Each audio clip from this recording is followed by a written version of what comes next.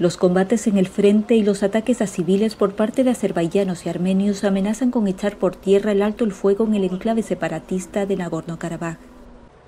Estepanaker, la capital carabají, fue escenario de bombardeos nocturnos, pero la vida pareció volver a la normalidad durante el día. Entre la población hay grandes deseos de que el alto el fuego que entró en vigor el sábado se afiance y algunos establecimientos reabrieron sus puertas.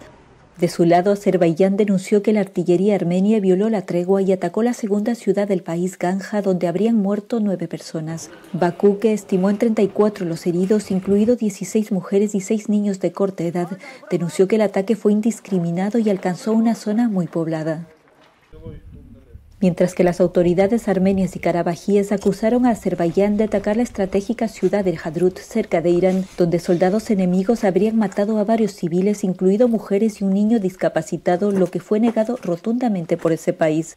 También se habrían producido ataques contra la histórica localidad de Shusha y Martuni, una de las ciudades más golpeadas en las últimas dos semanas.